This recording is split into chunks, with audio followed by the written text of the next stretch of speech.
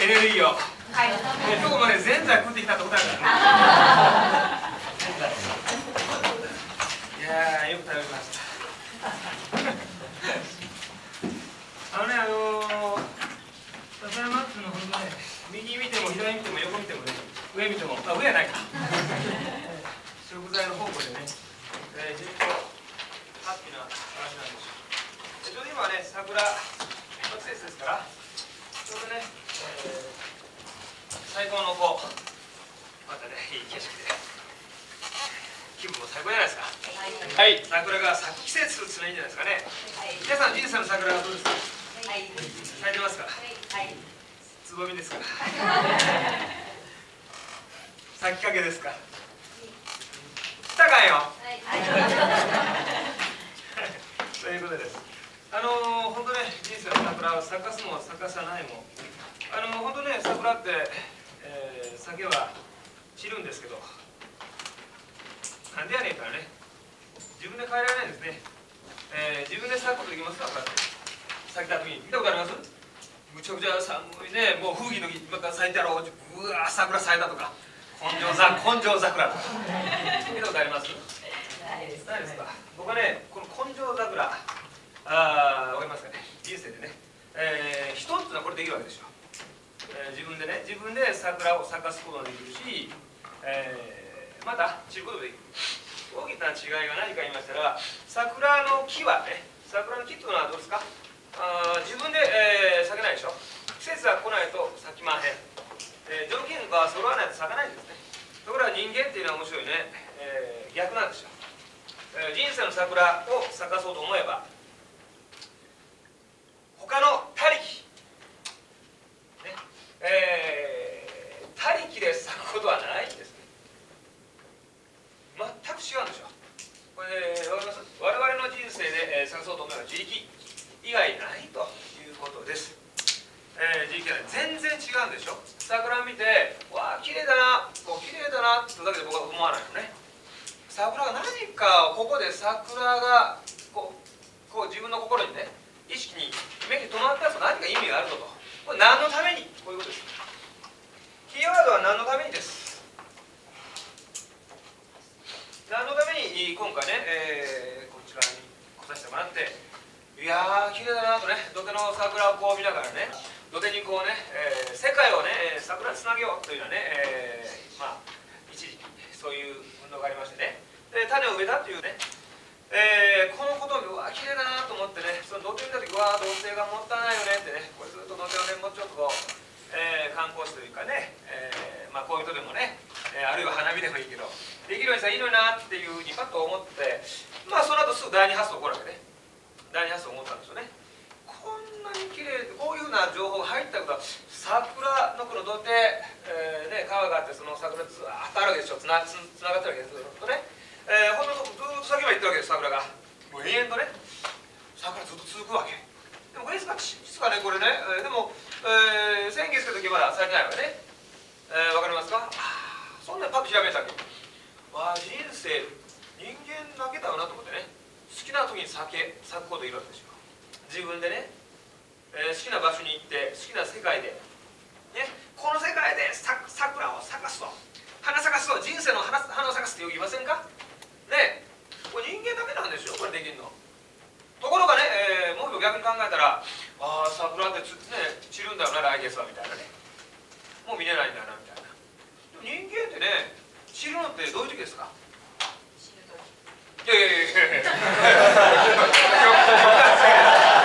しないとちっちゃい先輩いますやんまだ生きてますやんねえー、今こういうことですわそのとりです諦めた時に散るということです、諦めた時ですね失敗というのはね全然問題ないですね。失敗失敗失敗失敗を積み重ねその上に成功がありますね。1個しか失敗せんかったってなりましたらね。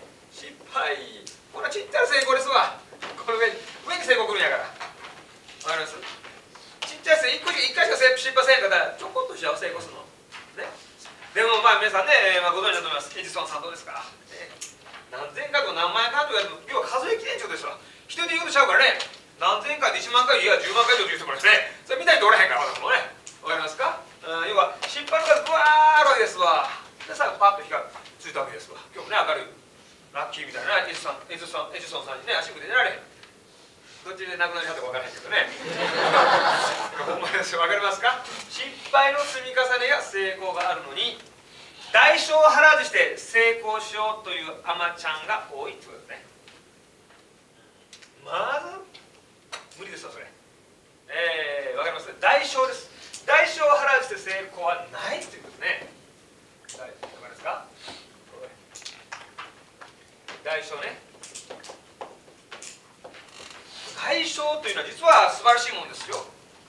努力とか、ね、練習だとかこういうのは全部代償でしょうね。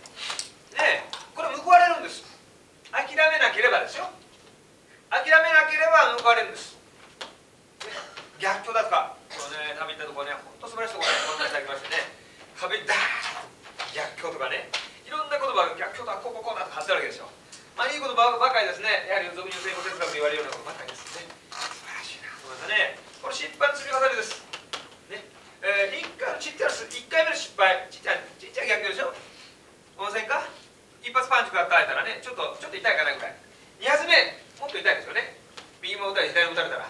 3発目正面から倒れたらもっと痛いですよ。これ失敗重なるんです。でも倒れんかったらダウンせんかったら。だんだんだんだん相手どう思います？あれ？僕のパンチ。私のパンチ効いてへんのちゃうこの人にはみたいななりませんか？わかります。だんだんだんだん形勢逆転するんでしょ相手は疲れてくるわけでしょ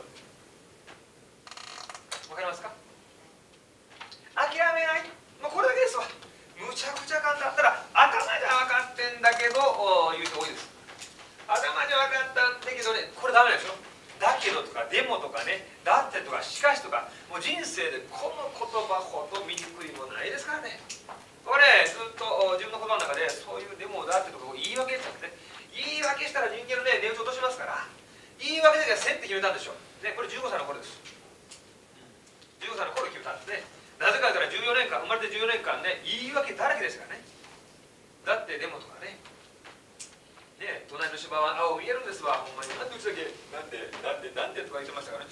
よう言うよくあるからね。そんなと変わらないわけでしょ。ねなんでお父さんがピンポやでなんでお父さんが先ので暴れんねんとかね。なんでお母さんねあの、まあ、うち3回見たらお母さんおばあちゃんがとかね。もうやっぱり僕 40, 40の子ですから。親父が45の子でしたからね。ええー、もうほんまでしょ周りが見たら20ぐらい上でしたからね、えー、でもねなんでなんでなんでですよう考えたらね、えー、これでやった時に分かったんですねあれなんでなんでって全部他力じゃんと思ったんですよお父さんが家が借家だからお金がないからとかねわかりますわかる他力なんですよね全族で生まれたからとかねね蓄能だからとかね。わかりますかね。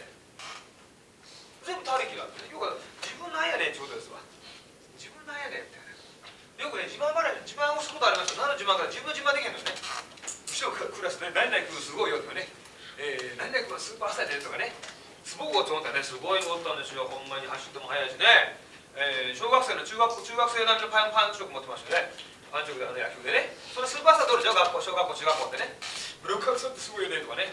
そんな話ばっかしとったら僕いいとこの子言われたお前人の話ばっかしたの自分自慢自慢話。自分のことないんかって言われた時ごちそくてね。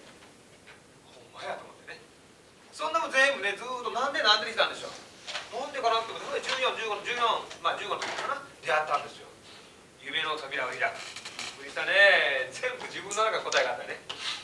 全部自分が引き寄せただって分かったでしょ。病気もねそういう親父の貧乏ね。母親も全部そうでしょ。今考えたら。ねだってうちは貧乏だ貧乏な言い方どんどんどん貧乏になるわけです思いっきりどうとかね。思いっきり。わかりますか？で人はすごい人はすごい人とかね。自分はダメダメと一緒でしょ？逆。変えたんです。自分に変えたんです。その時やったのがアファーメーションです。えー、自分の肯定用語ですね。私は Yes I can 一番最初にやったアファーメーションイエス・アイ・キャンです。あできると思っちゃうね、ナポレオンのね我が輩の辞書には不可能不可能不可能という文字はないっていうね言葉が良かったんでね自分自分谷の辞書には不可能という文字はないというね アファメーションしてました、ね、そのぐらいからいろんなことありましたね。えー、千里の道だからすぐね変化求める人求める人だからね。いや千里の道の一歩からだとかねローマは一日ならずとかねあの言葉は大好きでね、えー、継続が力とかねああいう言葉をどんどん書きました。アファメーションの中でねやりました。それで自分の中でそれは全部できるんだと、えー、いうふうにしました。そして、えー、30年後の自分15歳の頃30年後の自分を書いたんです。その時ね、えー、喘息蓄のねえー、匂いわかんないでしょ？喘息ですから。で、えー、いえ貧乏ですわ。借家しかすなうまいですね。